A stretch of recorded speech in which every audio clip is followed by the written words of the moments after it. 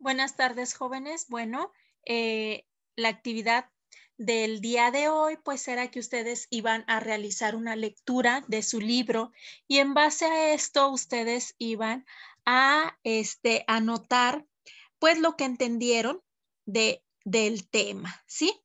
Explicarlo con sus propias palabras. Bueno, este es lo que yo eh, entendí sobre el tema se los voy a, les voy a dar lectura y ya cada uno de ustedes, bueno, pues anota lo que cada uno entendió.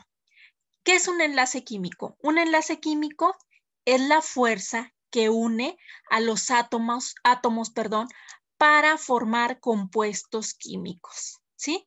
Si nosotros estamos recordando y si se acuerdan del video que vimos en la mañana, eh, tenemos dos, eh, dos elementos y cuando tenemos esos enlaces químicos, pues se forman estos compuestos químicos, ¿sí? Esta unión le confiere estabilidad al compuesto resultante. Recuerden que la estabilidad se va a dar por eh, estos, eh, la regla del octeto, que es que tenga en su, en su última capa estos ocho electrones, ¿sí? En este proceso los átomos ceden o comparten electrones de la capa de valencia. ¿Cuál es esta? La capa externa de un átomo, donde se determina su reactividad o su tendencia a formar enlaces. Y se unen constituyendo nuevas sustancias homogéneas, no mezclas, eh, inseparables a través de mecanismos físicos como cuáles, como el filtrado o el tamizado, que recuerden que son temas que ya nosotros también vimos.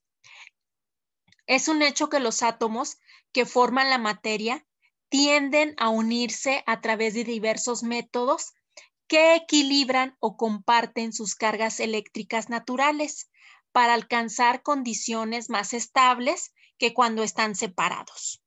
Los enlaces químicos constituyen la formación de moléculas orgánicas e inorgánicas y por tanto son parte de la base de la existencia de los organismos vivos.